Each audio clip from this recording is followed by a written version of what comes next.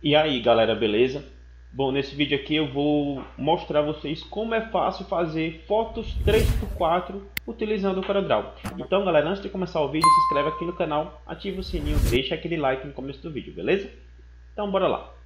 Bom, aqui no CorelDRAW você vai aqui no novo documento e aqui se o seu estiver outra medida, o que, é que você vai fazer? Ó? É clicar na setinha, escolher centímetros e aqui em largura você vai colocar largura 3, altura 4, que é o tamanho da, da foto 3x4. Vou dar um OK. Ele vai criar um, documento de uma foto 3x4. Agora, vou pegar a ferramenta retângulo e vou dar dois cliques rápido nela. Pronto, ele vai criar um retângulo do tamanho do documento. Feito isso, vou pegar a ferramenta seleção e nesse retângulo aqui, eu vou clicar com o botão direito do mouse em cima tipo de quadro, criar uh, recipiente vazio do PowerClip. Ele vai criar um X aqui no centro. Eu vou clicar fora e agora você pode fazer o seguinte: clica na imagem, aqui no caso no retângulo, segure o CTRL, deixa o CTRL pressionado e clica mais uma vez. Ó. Ele vai entrar dentro do PowerClip, vai ficar esse traçado aqui em azul. Agora vamos colocar a nossa imagem. Para colocar a imagem, vamos clicar com o botão direito do mouse e importar. Ou você pode apertar Ctrl I, vai abrir a janelinha do Windows e você vai uh, procurar aí a imagem no seu computador, beleza? Quando eu procurei a imagem, galera, o mouse vai virar essa reguinha aqui, ó.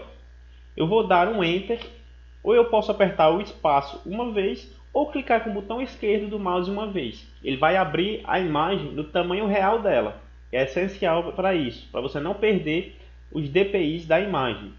Eu vou clicar uma vez aqui com Enter e olha só, temos aqui o meu mascotezinho. Quando eu tiro o zoom rolando a balinha do mouse para baixo, eu vou vir aqui nas extremidades, quando ficar o nome nó, eu vou clicar, segurando o Shift do meu teclado, vai ficar um X aqui no, na, no lugar da setinha. Então olha só, vou diminuir ele na proporção, no centro. Só que eu quero colocar ele aqui, ó. Posso colocar ele mais aqui. E aumentar sempre nas extremidades para que ele não perca a proporção da imagem. Vou colocar aqui. Pronto. Feito isso, eu clico fora. Vou deixar o Ctrl pressionado novamente e clico aqui fora. Pronto. Temos aqui o Power Clip, né, imagem dentro do Power Clip. Agora, eu vou pintar esse quadrado aqui de branco venho aqui na cor branca e vou colocar o traçado sem ser em preto. Vou colocar aqui um traçado um cinza. Para criar o traçado, basta clicar com o botão direito do mouse na cor desejada. Eu quero deixar somente, se eu der um zoom aqui, ó, tem esse traçado aqui, porque isso aqui vai servir como referência para a gente fazer a nossa manipulação, né, o corte e tudo. Feito isso, vou apertar F4 aqui para centralizar a imagem. Agora aqui de personalizado, aqui em cima, eu vou clicar e vou escolher a folha A4. Se eu tirar o zoom com a bolinha do mouse, olha só, temos aqui a, a folha, é, a foto aqui, ó, no centro. Eu vou clicar nela e arrastar aqui para o lado. Vou deixar ela mais ou menos aqui. Beleza? Agora o que, que a gente vai fazer? Ó? Vou dar um zoom aqui. O que, que eu vou fazer aqui? Ó? Eu vou ativar aqui a opção transformar. Caso o seu não esteja aqui, você vai no sinalzinho de mais, aqui embaixo, do lado da paleta de cores e vai deixar marcado aqui transformar. Está na segunda abinha aqui, ó, o primeiro, a primeira opção da segunda aba. Vai abrir aqui, ó. E aqui, galera, eu vou fazer o seguinte, seleciona aqui a nossa, o nosso Power Clip, né, nossa imagem. Ele vai vir aqui, ó, transformar e aqui vai estar tá marcado aqui, ó, posição.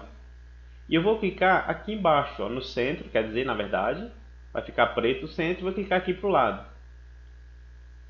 Beleza? Ele vai dar aqui a dimensão da minha uh, imagem. Só que aqui está em milímetros porque eu não configurei a folha A4 aqui. Ó.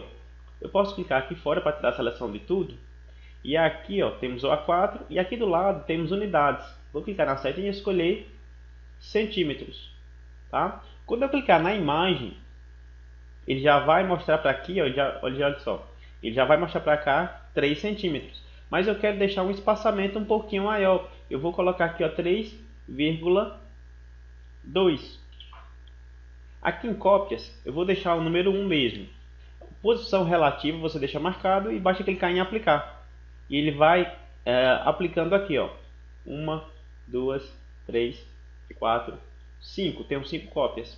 Vou selecionar todas elas agora. Ó. Clico fora, clico seguro e arrasto para selecionar todas elas. Agora eu vou clicar aqui embaixo, né, no, no Y, no eixo Y. Vou clicar aqui, ó. Vai ficar menos 4. Eu vou colocar menos 1, 4, menos 4,1. Tá?